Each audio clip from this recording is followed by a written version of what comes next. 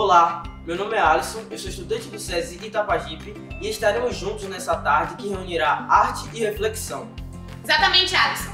O projeto Pipocando Arte traz um importante diálogo a serviço da saúde e bem-estar dos estudantes e profissionais da nossa rede. Com o tema Ame-se, mergulhe em busca de si mesmo, os estudantes prepararam diversas produções artísticas, junto com convidados, para dialogarmos um pouco sobre a importância do amar-se. E agora iremos convidar os artistas do SESI Taquajipe para brilhantarem esse dia.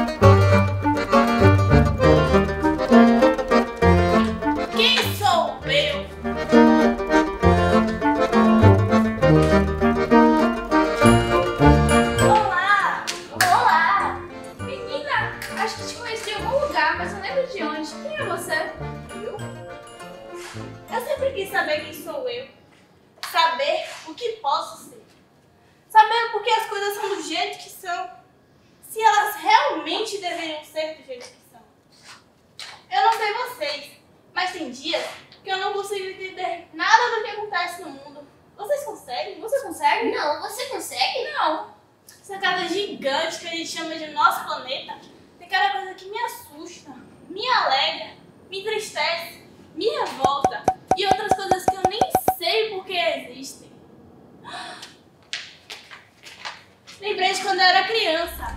Eu queria ser, era um astronauta, para dançar na lua.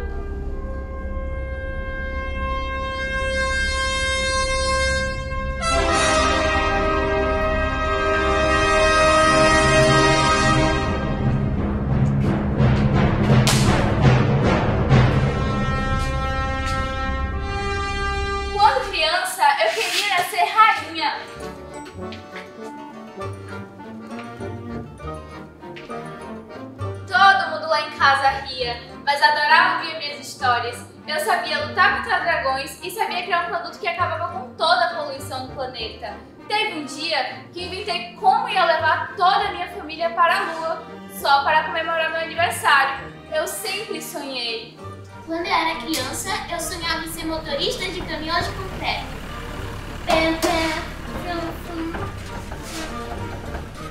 Andava pela casa com a tampa da panela na mão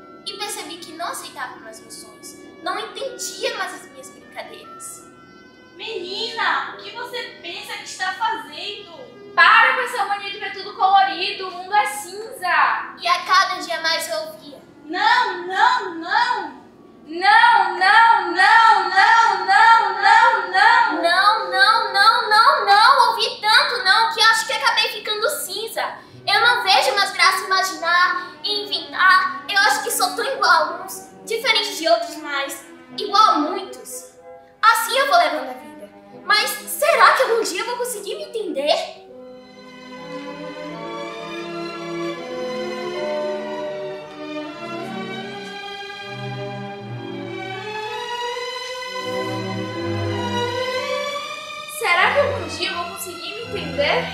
Será que algum dia eu vou conseguir me entender? Será que algum dia eu vou conseguir me entender? Será que algum dia eu vou conseguir me entender? Será que algum dia eu possa conseguir me entender? Será que algum dia eu vou conseguir me entender? Será que algum dia eu vou conseguir me entender? Será?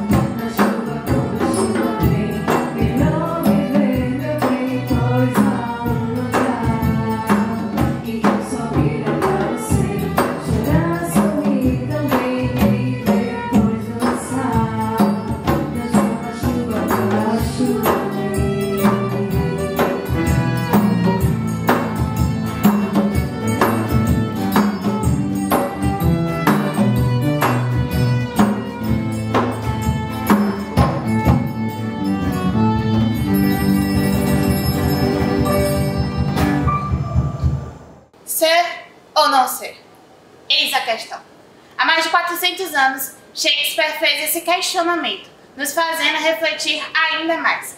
E para continuarmos a pensar um pouco mais sobre nós mesmos, iremos conversar com a professora Manuela Ribeiro, da área de Ciências da Natureza. Professor, quais são as estratégias de autoconhecimento? É é importante falar sobre esse tema porque o autoconhecimento é, ajuda a gente a ter um equilíbrio na vida. É, tem uma frase emblemática de Sócrates que diz o seguinte: Conhece-te a ti mesmo e conhecerás o universo e conhecerás os deuses.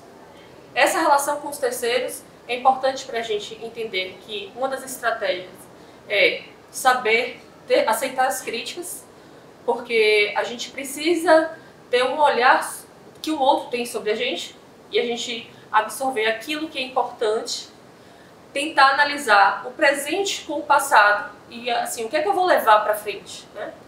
É, se alimentar bem porque o nosso corpo também responde,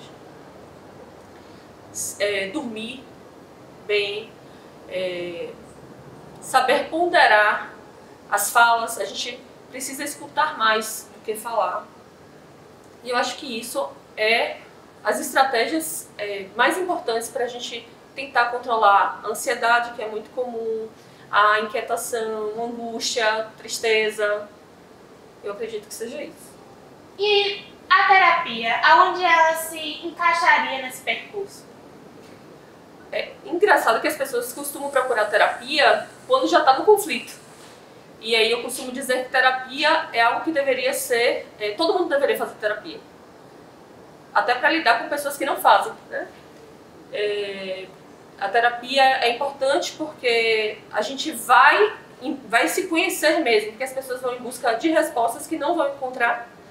E aí começa, a você começa a falar e começa a refletir sobre aquilo que você tem de informações sobre você, sobre o universo, que você é, dialoga, o, que, o ambiente que você vive. Então é super importante. E agora vamos para mais uma apresentação artística.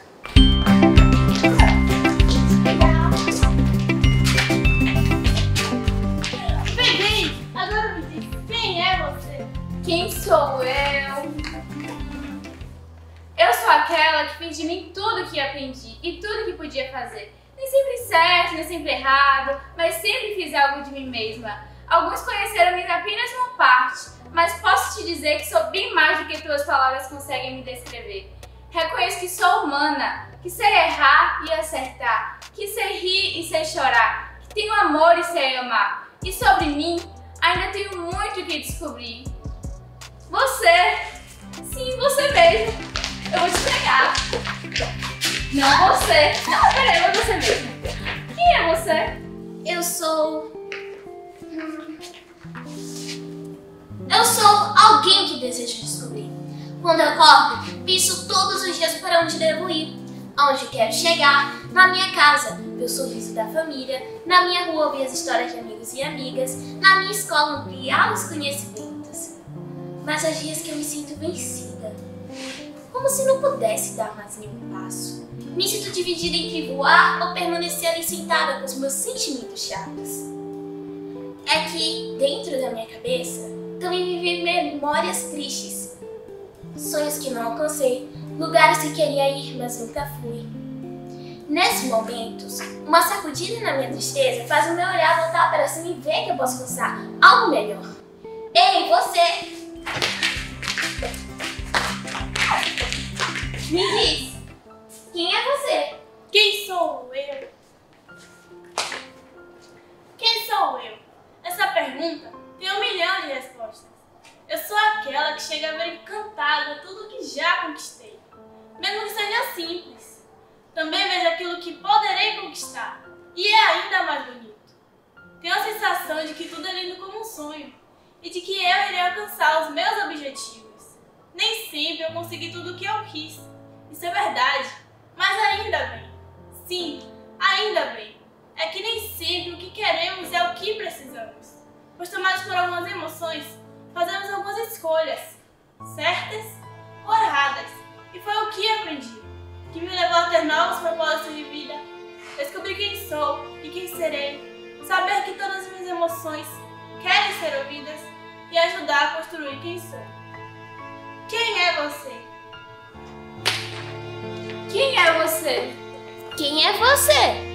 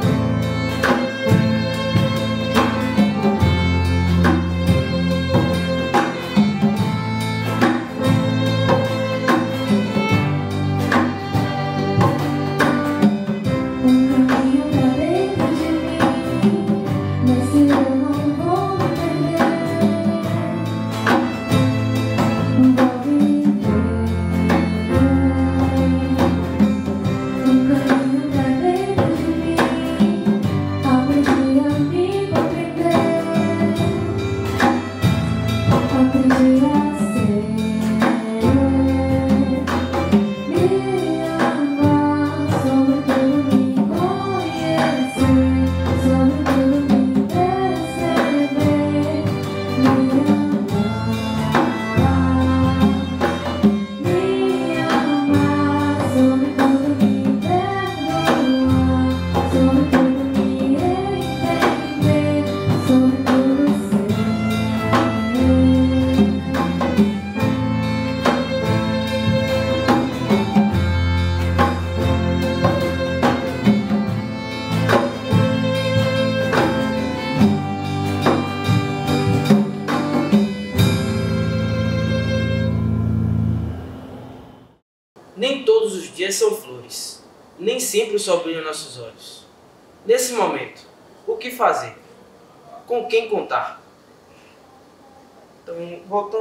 Entrevista, eh, temos duas convidadas, dos, alunas do SESI, Camila e Nicole. Sejam bem-vindas. Obrigada. que vai nos falar um pouco sobre enfrentando desafios no cotidiano, a importância do apoio.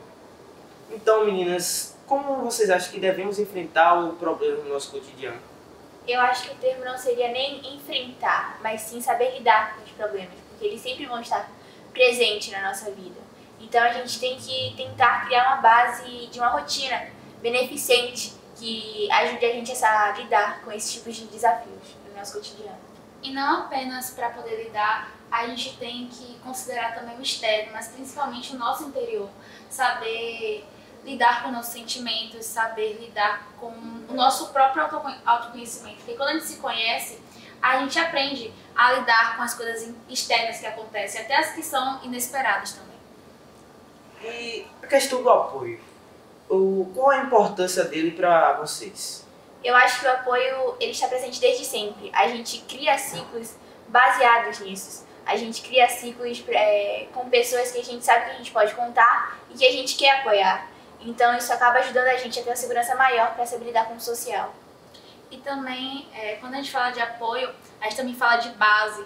É, o apoio, querendo ou não, é, sempre temos aquele porto seguro. Muitas vezes a gente não vai encontrar em certos momen- momentos da nossa vida o apoio que realmente precisamos. Por isso que a gente tem que ter essa questão de uma inteligência emocional para poder saber é, lidar mesmo com essa questão.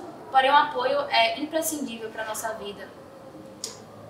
Como é, as meninas falaram, é, enfrentamos muitos desafios, e problemas em nosso cotidiano, mas com o apoio, principalmente familiar, escolar e de amigos, nós conseguimos lidar com eles e sermos bem-sucedidos.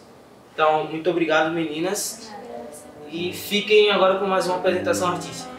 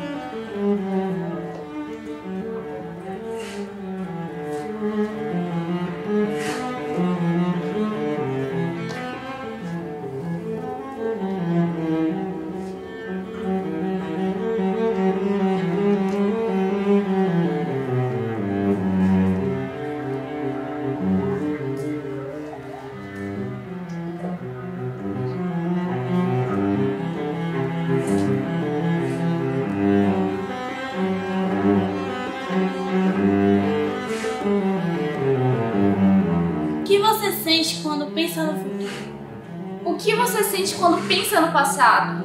O que você sente quando pensa no presente? Alegria, tristeza, surpresa, segurança, esperança? Nojo, aversão, raiva, felicidade, resiliência. Medo, empatia, simpatia, amor? O espetáculo das nossas vidas é cheio de cenas.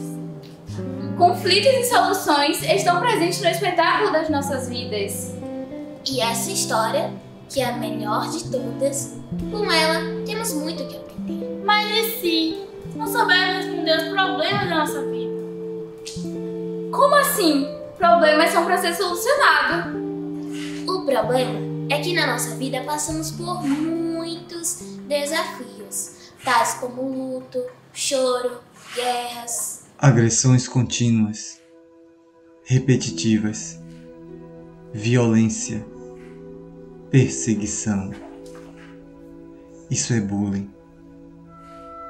Isolamento social, queda no rendimento escolar, queda na autoestima, quadros de depressão, transtorno de ansiedade, síndrome do pânico, esses são os efeitos do bullying. Mais de 23% dos estudantes contaram ter sido vítimas de alguma forma de bullying. Diga não a essa prática. Mas e se não soubermos responder os problemas daqui de casa? Tá tudo bagunçado. Como vamos resolver o problema do mundo? Tá tudo tão confuso. Como vou resolver o problema aqui dentro de mim? Às vezes fico tão triste que não tem com quem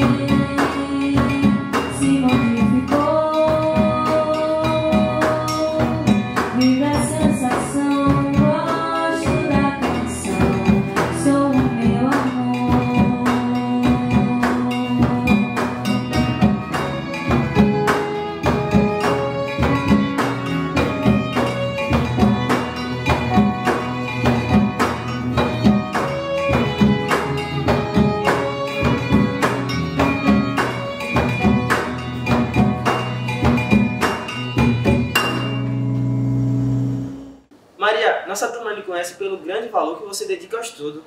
Sim, eu acredito muito na educação, mas você também é muito dedicado.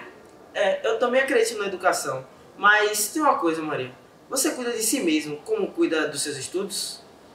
Olha, cuido sim, mas acompanhando aqui de perto as produções do Pipocando Arte, acho que preciso cuidar mais um pouco. Então, vamos aproveitar que estamos sendo convidados a cuidar de nós mesmos e realizar ações que sejam importantes para a nossa saúde. Com certeza. E para nos auxiliar, iremos conversar com o pai Ronaldo Cavalcante, que irá falar sobre o autocuidado. Olá, tudo bem?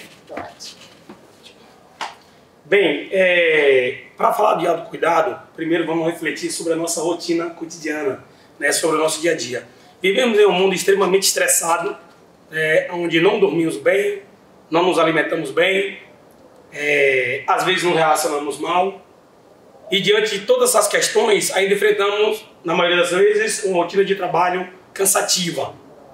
É, então, como falar de autocuidado diante de um cenário tão é, é, é, diferente? tão desafiador como a vida moderna? Bom, o autocuidado, ele tem, ele precisa, não é uma autoajuda. Autocuidado é, é, é, é algo que precisa partir de cada um, de cada ser, certo? Precisa partir de cada ação. Então, para falar de autocuidado, a gente precisa ter como referência é, os, quatro, os quatro principais pilares, que é a, o físico, o emocional, o social e o espiritual. Então, para falar do, do, do autocuidado, a gente precisa estar em sintonia com esses quatro pilares, que não é fácil, é muito difícil.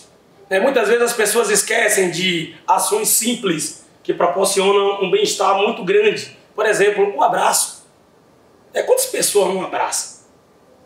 É, quantas pessoas é, é, é, não transmite esse carinho ao outro? E diante de um abraço você tem ali a serotonina envolvido, que é o hormônio do prazer. É, atividade física, que tanta gente né, se nega por falta de tempo, por falta de, de, de, de... Ah, a correria do dia a dia não permite. Mas atividade física, quando você pratica, é impossível você sair de uma ação dessa com aquela sensação de tristeza. Porque diante da movimentação do corpo, você produz a endorfina, que são hormônios que te proporcionam bem-estar, tanto físico quanto emocional. Então, assim, o autocuidado, ele não é, não, não, é muito complexo de lidar com essa, com essa relação. Então, precisa de, de, de eu diria assim, de ações pessoais, mudanças. Mudança na rotina, mudança no teu cotidiano e valorizar mais as tuas ações. Ações simples, como chegar em casa, não é fácil você ser pai, ter uma rotina de trabalho, ter uma vida corrida e chegar em casa, se trancar em um quarto só porque está cansado. Você precisa dar atenção a teus filhos e é a partir daí que vem essas ações de autocuidado. E a questão da importância. Qual a importância do autocuidado? Na verdade, o autocuidado ela te traz um, a importância é que ela te traz uma sensação de bem-estar. É uma sensação do viver em comunidade. Proporcionar o bem, não importa quem. Então, quando você aprende a praticar essas ações, você está lidando sim com, com atitudes do autocuidado. Né? E, de certa forma, amando-se mais, proporcionando bem-estar no mundo. É isso que o mundo precisa. Obrigada. E iremos voltar agora com mais uma apresentação artística. O sentimento de desamor ou desvalor nos faz muito mal. Faz com que a gente esconda o brilho presente em nossas almas. Amar a si mesmo e se aceitar é muito importante. Não depende de algo ou de alguém. Amor e aceitação brotam de nós mesmos. Nascem do fundo do nosso coração. Quando olhamos para dentro, podemos ver a beleza que a gente tem esperando apenas que a gente abra uma janelinha para revelá-lo. Mas há um problema que pode impedir de vermos a beleza que é em nós mesmos. O medo. Sim, o medo. Medo da desaprovação, da crítica, medo de não ter, de não conseguir a aprovação do outro, ou até mesmo um abraço de reconhecimento. Mas podemos dizer a vocês, o papel das outras pessoas nas nossas vidas deve ser de suporte, não de necessidade. Nossa companhia deve ser tão bela que nos faça muito feliz e faça feliz todos que estão à nossa volta. Reconhecer o seu próprio valor e se amar nasce do cultivo de grandes virtudes, tais como a gentileza, a empatia e a gratidão. Amar-se e valorizar-se envolve se autoconhecer, se reconhecer suas limitações, talentos e desafios. E diante disso tudo poder dizer: Eu me amo, eu me aceito, eu me perdoo e eu sou grato. Mergulhe em busca de si mesmo